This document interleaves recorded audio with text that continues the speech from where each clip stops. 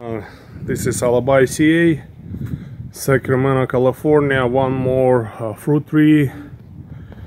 It's uh, Chinese date or Ziziphus, and uh, uh, this variety um, calls Lang UUB or UUB. Yeah, I forgot the another to say another name of this tree. We already have another variety of this tree, a beautiful tree, uh, very productive tree, and uh, our another variety has a, a round shape of the fruits, uh, very tasty fruits. I really recommend this tree for any, anyone, anybody who lives in uh, uh, tropical, subtropical uh, climates or even colder because uh, they're uh, this tree you can plant in other uh, climate zones uh, instead of uh, uh, California too. And um, I like I said I have one tree and I maybe two three weeks ago I just re- uh, I've, I've, been reading some articles uh, about these uh, trees and it's and I found some information that it's not self-pollinated. It means I need to have a second tree uh, for uh, or partially actually it says it's partially uh, self-pollinated and for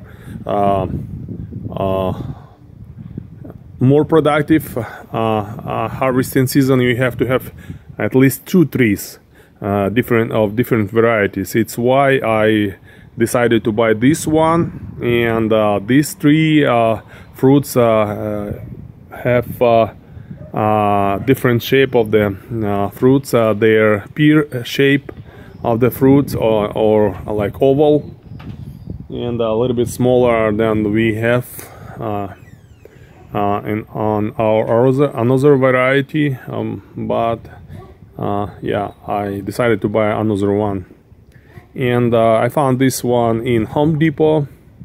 A little bit expensive about $45 I think if if I'm right. But you know it's uh it's not usual uh, it's uh, uh, not so easy to find this tree you know and it's why I decided to buy this one and actually and plus uh, this tree is not small you know this uh, it's about uh, about uh, in my mind it's about five six seven years old means uh, it should uh, and it should give us some fruit in this coming season okay thank you for watching and now it's Russian part it's это еще одно фруктовое дерево а, называется китайский финик или же а, зизифус. А, а, в Средней Азии он называется унаби. А, и разные вариации вот этого слова унаби.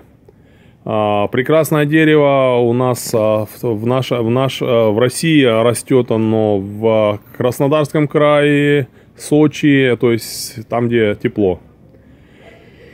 А, в Украине эти деревья растут э, в Крыму. И, в принципе, могут расти даже не только в Крыму. Это потому что она достаточно морозостойкая, а, практически не повреждается вредителями, а, хорошо плодоносит. Я имею, уже имею дерево примерно десятилетний возраст, оно плодоносит у нас регулярно, очень красивое.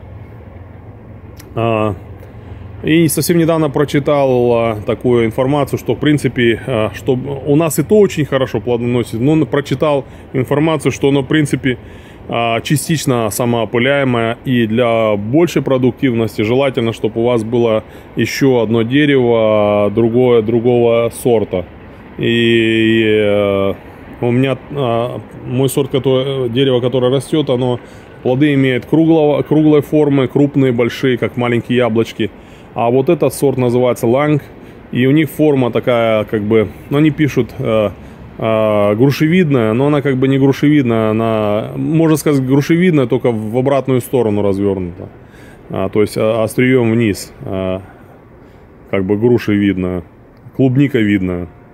И вот я решил его взять. А, очень рекомендую это дерево, так как я уже сказал, оно красивое, неприхотливое, быстро растет, большая, большая, очень плодонося, плодоносит беспроблемно. А только поставьте капельный полив и будете иметь плоды летом. Все, благодарю за просмотр.